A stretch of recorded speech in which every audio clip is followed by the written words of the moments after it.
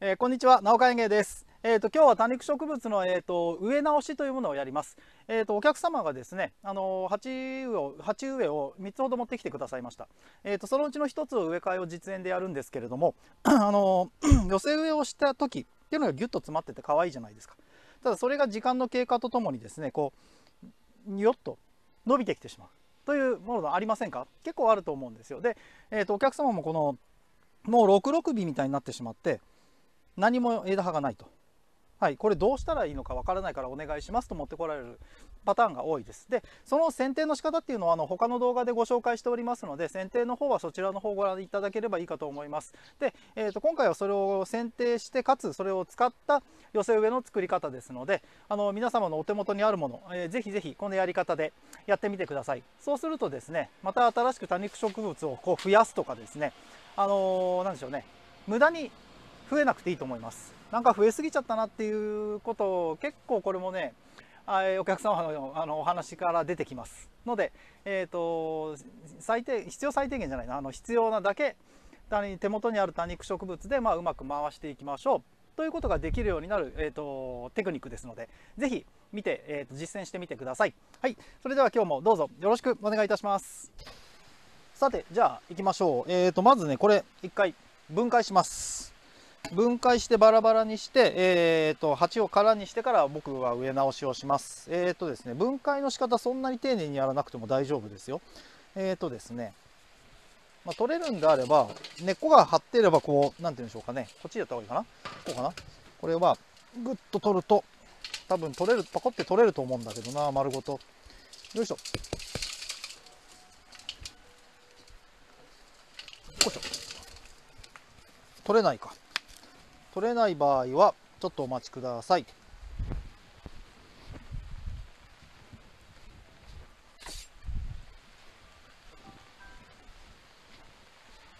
こういう道具使うといいと思います。これスクレーパーと言います。えっ、ー、とこのこういう感じですね。えっ、ー、とここが縁取りでくっついちゃってるんでこう縁にこれを入れてってあげてへばりついている根っこを取ってあげると、え、ー、と、取りやすくなると思います。えっ、ー、と、よいしょ。こういう感じかな。こんな感じで取れてくれると思うんですけれど、さあどうだ？行ってみましょう。よいしょよいしょ。ああ、よしよし、取れましたね。よいしょ。よし。はい。こんな感じです。取れました。で、これを分解していきましょう。分解するのはね、もうバリッとやっちゃっていいです。で、多肉植物、根っこが、あのー、なんて言うんでしょうね、そんなに重要なものではないというんですかね。体を支え、そこに支えて、まあ水はするんですけれど、水自体は体に持っているので、根っこをこうブツブツと取ってしまっても大丈夫です。はい。こういうこんな感じね。こういう感じ。で大丈夫です。さあさあどんどん分解していきましょう。よいしょよいしょ。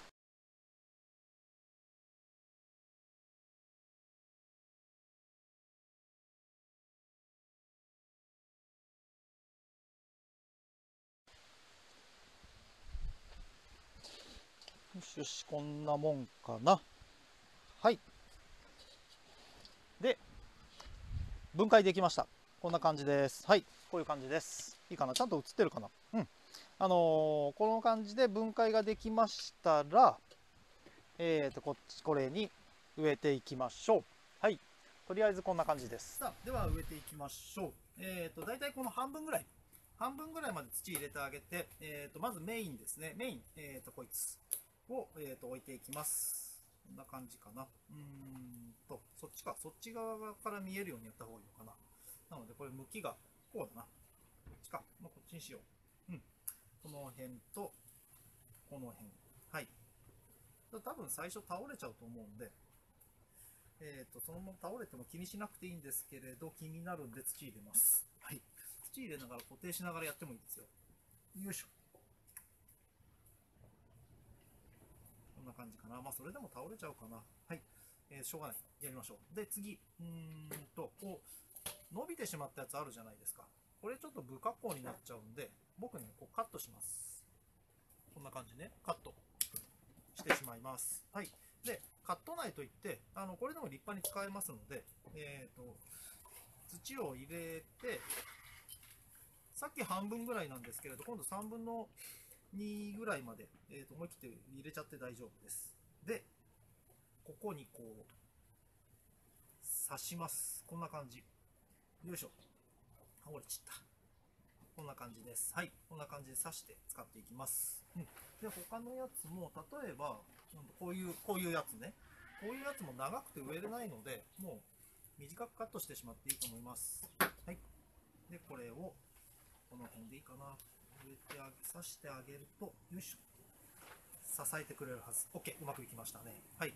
というような感じで、これ、これはもう折れちゃったやつですね。も、この辺に、こう、こういう感じねはい。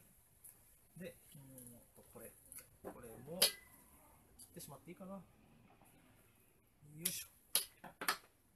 しまったものを、この辺だな。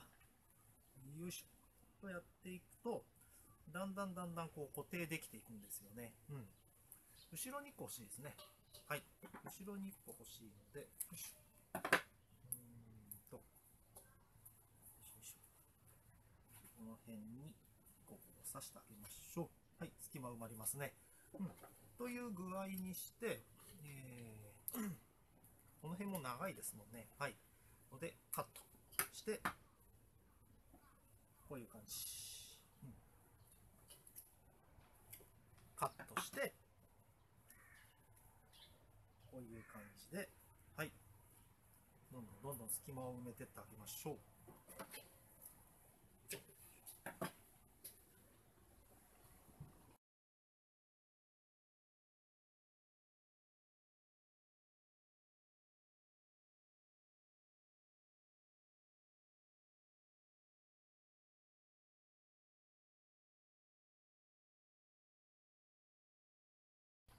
ち向きか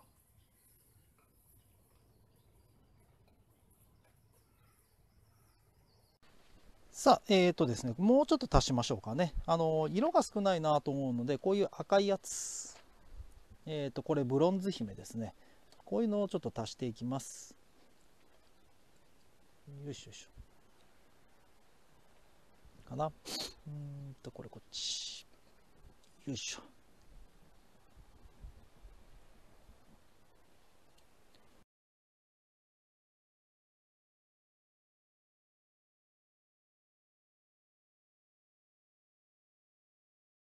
さあさあ、こんな感じです。できました。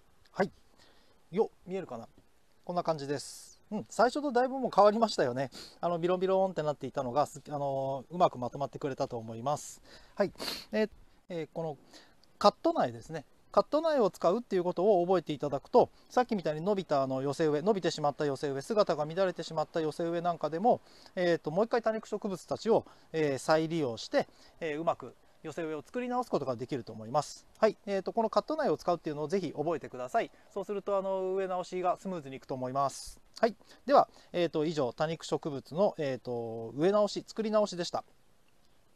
ではご覧いただきましてありがとうございました。えーとですね、いかがでしたでしょうか？あの多肉植物の植え直し、えーと、カット苗を使ってこう刺していくっていうやり方ですね。えーと簡単に言うとあれ多肉植物の挿し木なんですよね。はい、なので、えーと、ご家庭にある多肉植物が伸びてしまって形が乱れてきちゃったなと思ったらあのあれをやるといいと思いますそうするとあの何でしょうまた短い状態になるし、えーと何でしょうね、自分のところにある多肉植物だけで回せるようになると思います。はいでえーと、大体その限られたスペースでしょうしね、あのお庭の、えー、ある一角もしくはお庭のあるスペースで、えー、多肉植物を育てるというとなんかだんだんだんだん増えていっちゃったりするんですよね。はい、なので、あのー、せっかくなら自分が必要な分だけで回せるといいかなと思いますのでそういった意味であのこの何でしょうね切り戻しとえ植え直しの方法これは有効じゃないかなと思っています。なのでぜひ皆様もあのお家のですね多肉植物たち伸びちゃったなと思ったらこの方法で、えうまく回すように試してみてください。はい、えーと、それでは、えーと次回の動画でまたお会いいたしましょう。今日も最後までご視聴いただきましてありがとうございました。